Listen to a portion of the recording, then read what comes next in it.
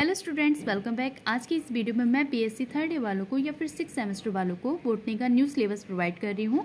मेरे पास एक स्टूडेंट की डिमांड आई थी कि मैम बोटनी का सिलेबस प्रोवाइड कर दीजिए बीएससी थर्ड ईयर का। सो so, स्पेशली आज मैं आप लोगों के लिए वीडियो लेके आई हूँ और इस वीडियो में आप लोग ये जो सिलेबस देख रहे हैं ये सेमेस्टर वाइज सिलेबस है। टू पेपर पैटर्न पर बेस्ड ये सिलेबस है आप लोगों का।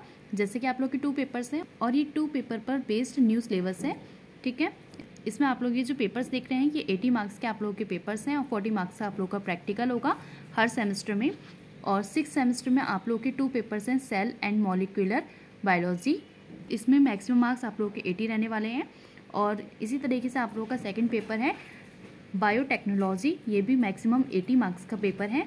और इसके बाद है लैब कोर्स यानी कि प्रैक्टिकल सो ये भी मैक्सिमम फोर्टी मार्क्स का है. सो आई होप कि आप लोगों को आज की मेरी ये वीडियो अच्छी लगी होगी.